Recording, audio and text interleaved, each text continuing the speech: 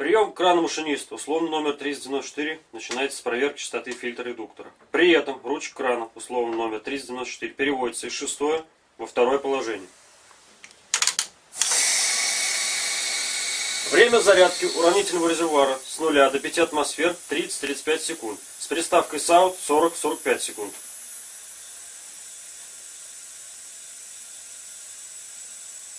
Время зарядки уравнительного резервуара составило 33 секунды. Проверка плотности напорной магистрали. Проверка производится при перекрытом комбинированном кране и поездном положении ручек кранов условно номер 254 и 394. Неработающих компрессорах. Локомотив должен быть закреплен от ухода.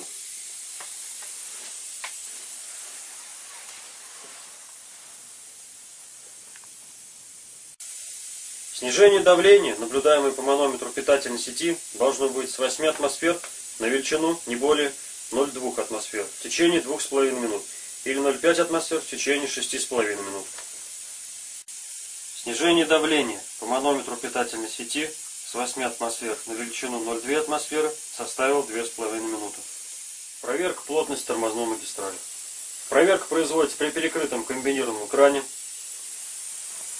и поездном положении ручек кранов условно номер 254 и 394. Неработающих компрессорах. Локомотив при этом должен быть закреплен от ухода.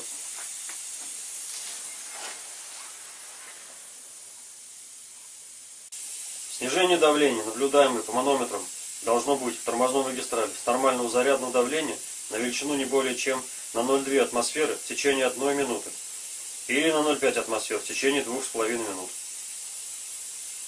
Снижение давления по манометрам тормозной магистрали с нормального зарядного давления составило 0,2 атмосферы в течение 1 минуты. Проверка плотности уравнителя резервуара крана условно номер 394.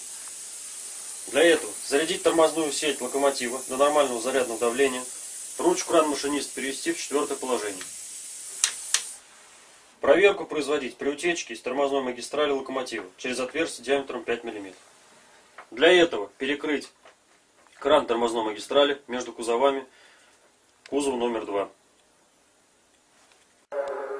Плотность считается достаточно, если падение давления в уравнительном резервуаре не превышает 0,1 атмосферу в течение 3 минут.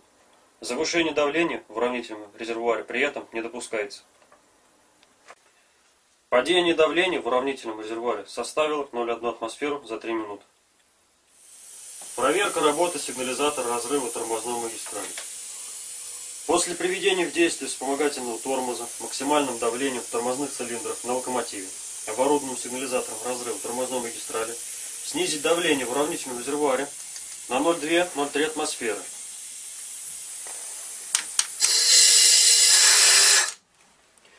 И после загорания лампы ТМ набрать позиции контроллером.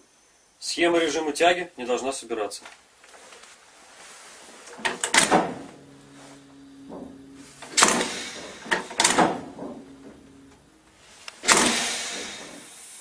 Проверка чувствительности воздухораспределителей к торможению. Воздухораспределитель грузового типа проверить на равнинном режиме. При срабатывании воздухораспределителей должна загореться а после наполнения тормозных цилиндров погаснет сигнальная лампа ТМ, сигнализатор разрыва тормозной магистрали поезда. После торможения убедиться в том, что штоки поршней вышли из тормозных цилиндров и тормозные колодки прижаты к колесам. Проверку производить снижением давления в уравнительном резервуаре краном машиниста в один прием на 0,5-0,6 атмосфер. А при воздухораспределителе, действующем через кран номер 254 на 0,7-0,8 атмосфер.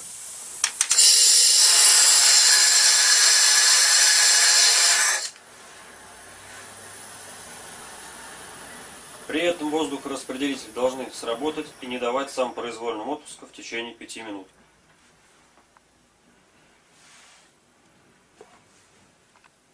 Проверка на чувствительность воздухораспределителей к отпуску. Поставить ручку крана машиниста в поездное положение, при котором тормоз должен отпустить, а колесо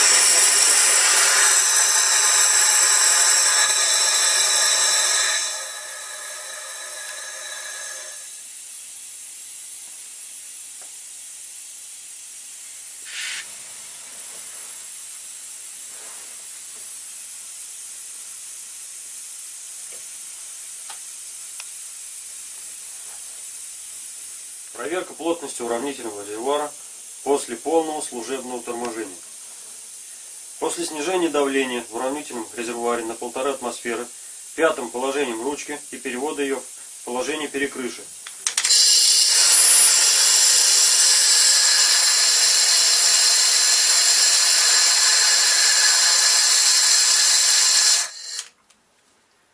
Допускается завышение давления в тормозной магистрали не более чем 0,3 атмосферы в течение 40 секунд.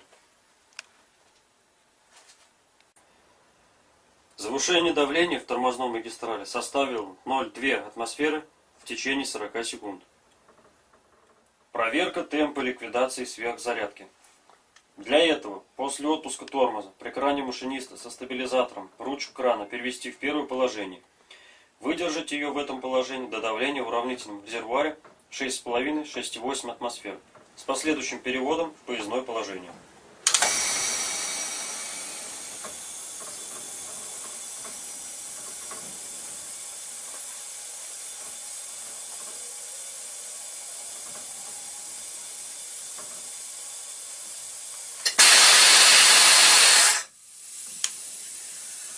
Проверку производить при утечке с тормозной магистрали локомотива через отверстие диаметром 5 мм. Для этого перекрыть кран тормозной магистрали между кузовами кузова номер 2. Снижение давления в уравнительном резервуаре с 6,0 до 5,8 атмосфер должно происходить за 8-120 секунд.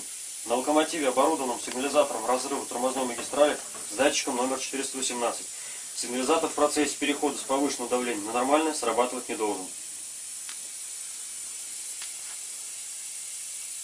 Снижение давления в уравнительном резервуаре с 6,0 до 5,8 атмосфер составило 100 секунд. Проверка плотности тормозных цилиндров. Для этого произвести экстренное торможение –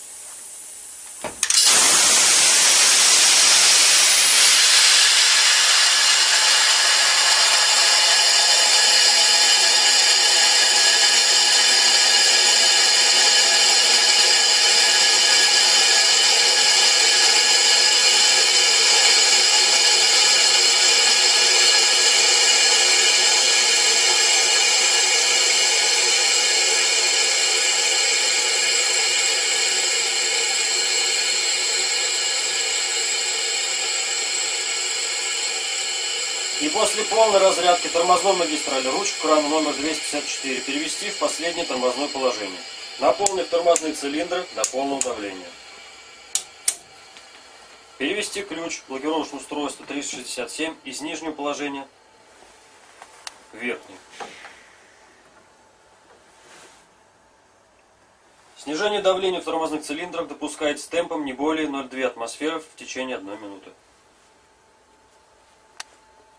Снижение давления в тормозных цилиндрах составило 0,1 атмосферу в течение одной минуты. В зимний период времени производится проверка проходимости тормозной магистрали путем открытия концевого крана тормозной магистрали с нерабочей кабины.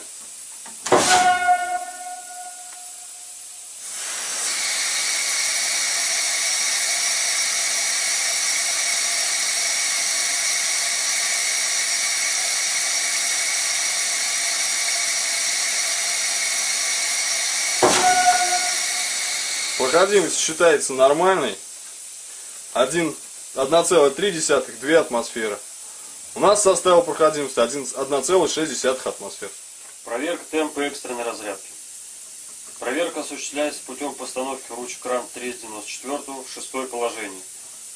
Темп экстренной разрядки должен составить с 5.0 до 1, не более 3 секунд.